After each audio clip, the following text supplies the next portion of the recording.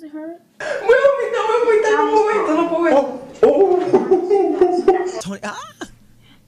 doesn't know who is flashlight. What is that? Oh! In why is it? Why is it so big? They're popping it. Oh no. Oh. Yes, that was a zit popping video. Ugh, why does it make my soul and my face curdle?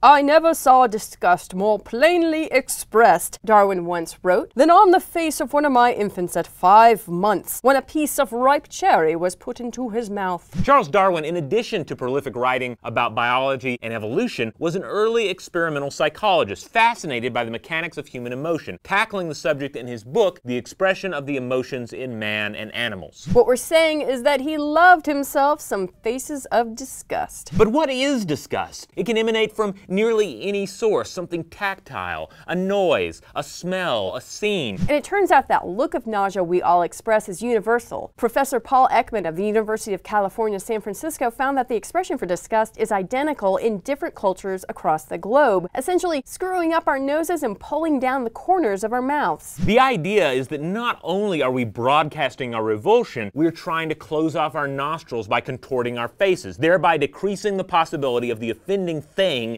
entering our nose holes. It's an immediate hardwired reaction. The idea is that disgust evolved a signaling mechanism, an important emotional siren going off in order to avoid disease and death from parasites, pathogens, and harmful microbes. So the most common visceral disgust culprits turn out to be the following. First of all, we have body secretions. We have your feces, your vomit, your sweat, your spit, your blood, your pus, your sexual fluids. And then there are body parts, uh, wounds, toenail clippings. Oh, don't forget decaying foods, especially rotting meat and fish, and all other sorts of rubbish, as well as certain living creatures like flies, maggots, lice, worms, rats, the usual suspects, but also dogs and cats, as well as people who are ill or seemingly contaminated. But it all gets interpreted in other subtle ways. Valerie Curtis, a self described disgustologist from the London School of Public Hygiene and Tropical Medicine, says disgust determines our hygiene behaviors. It determines how close we get to people, it determines who we're going to kiss, who we're going to mate with, who we're going to sit next to, and it determines the people that we shun, and that is something we do a lot of. Moreover, some crafty companies have realized that tapping into disgust could be good for sales. A five year study released by Arizona State University's W.P. Carey School of Business found that again and again, advertisements that try to simply scare consumers into action are far less effective than ads that also disgust consumers into taking action. However, none of this explains why we live in a world where we willingly watch zip popping videos and buy products like liquid ass, which is touted as containing, quote, a genuine foul butt crack smell with hints of dead animal and fresh poo. So, what's your pet peeve disgust? Let us know in the comments below. And for a healthy serving of disgust, check out this video on the fear of holes. Oh, and make sure to subscribe.